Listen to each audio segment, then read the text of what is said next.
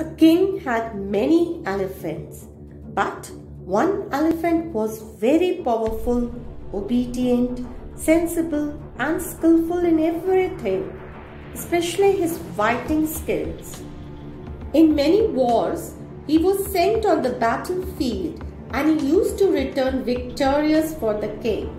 Therefore, he was the most loved elephant of the king. Time went by and came a time when the elephant started getting old. Now, he was not able to perform as before.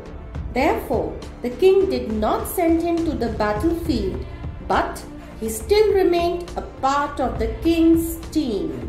One day, the elephant went to a lake to drink water, but his feet got stuck in the mud there and he went on sinking.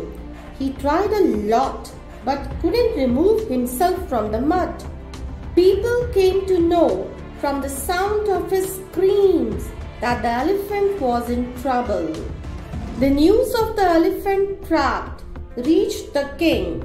All the people, including the king, gathered around the elephant and made various efforts to get him out.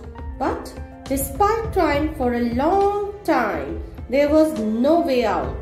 At that time, Gautam Buddha was passing by.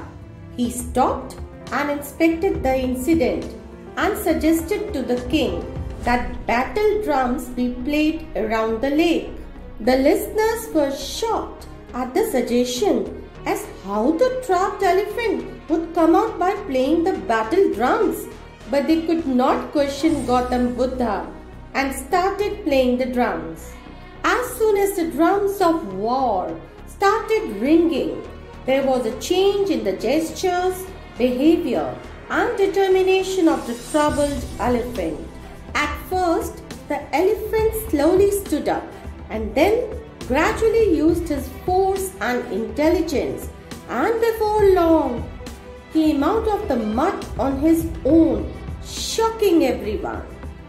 Gautam Buddha smiled and said, there was no lack of physical ability in the elephant, but only the need to infuse enthusiasm, motivation, and will within was missing.